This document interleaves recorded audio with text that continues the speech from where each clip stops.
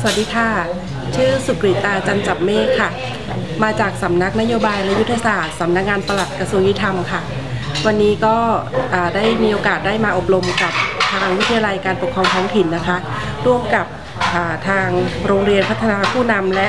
สร้างสันติธรรมรักสกูนะคะ ที่จังหวัดขอนแก่นค่ะ ซึ่งเป็นโครงการที่ทางกระทรวงยุติธรรม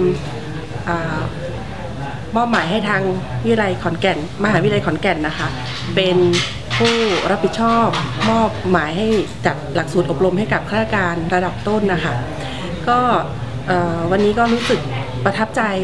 เกี่ยวกับการดูแลของทีมงาน คณาจารย์ แล้วก็เจ้าหน้าที่ทุก ๆ ท่านเลยค่ะ ตั้งแต่วันแรกที่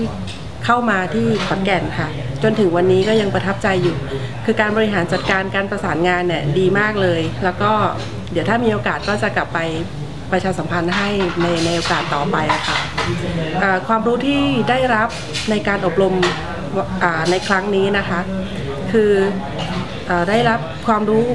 แปลกใหม่จากเดิม จากกรอบเดิมที่เคยอบรมมา ส่วนใหญ่แล้วเนี่ยจะอบรมก็คือ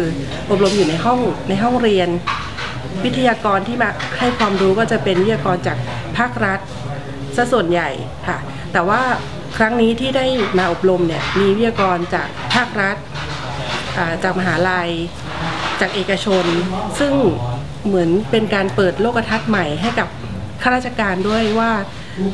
มุมมองเราควรจะเปิดมากขึ้น มองภาคราชการที่เราทำงานอยู่เนี่ยเป็นเป็น ในสิ่งที่เราคุ้นเคย เอกชนเขามองภาครัฐยังไง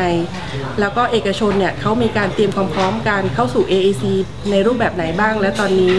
คือเราสามารถนำประโยชน์ตรงนี้ไปปรับใช้ในการปรับกระบวนการทำงานของภาครัฐให้เข้ากับสู่เอกชน แล้วก็